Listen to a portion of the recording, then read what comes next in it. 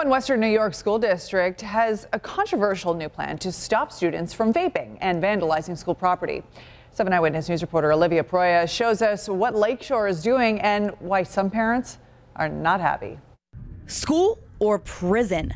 That's the debate surrounding Lake Shore High School's new bathroom practice. If they need to use the restroom, they just ask the teacher the way they normally would when they ask to go to the bathroom. But we just, they call down the office and we just have a monitor come up there and escort the kids to the bathroom. The hall monitor does not go into the restroom with the student, and kids can use the restroom freely during lunch and in between classes.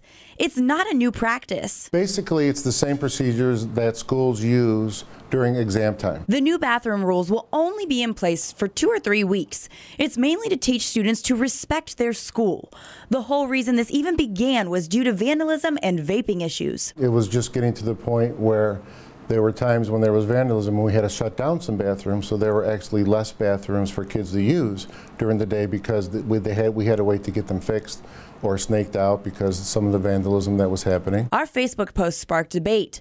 Some agreeing with the policy, others comparing it to the way criminals are treated. Kimberly shared all the schools need to do this. David asked, are these kids in prison or school? It also has um, some unintended positive consequences where more kids are staying in the classroom that maybe you know, might have not been in the classroom. In Angola, Olivia Proia, 7 Eyewitness News.